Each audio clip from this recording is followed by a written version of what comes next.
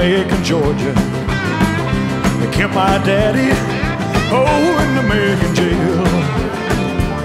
Mmm, ain't it funny how time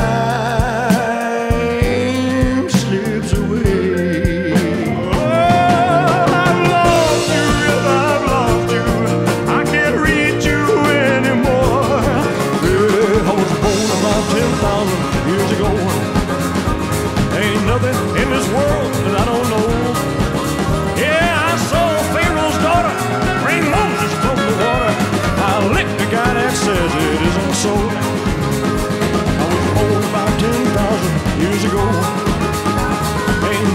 in this world that I don't know.